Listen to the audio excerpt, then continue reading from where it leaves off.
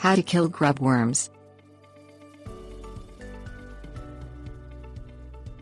If you have grub worms as a constant pest in your yard, you are not alone. Grub worms, also known as June beetles, are a common nuisance that can cause severe damage to your plants and grass. Aside from causing damage, they also attract other pests ranging from skunks to moles. Before you pay a professional a substantial amount of money, try getting rid of grub worms on your own. Follow this easy do-it-yourself remedy, and your yard will be worm-free before you know it. Things you'll need. 1 gallon water. 2 gallon stock pot. 6 minced garlic cloves. 1 and a half cups liquid dish detergent. 2 tablespoons vegetable oil.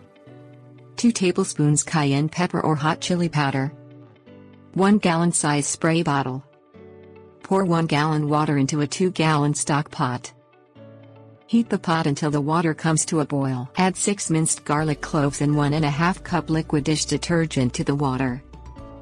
Add 2 tablespoons vegetable oil and 2 tablespoons cayenne pepper or hot chili powder to the mixture.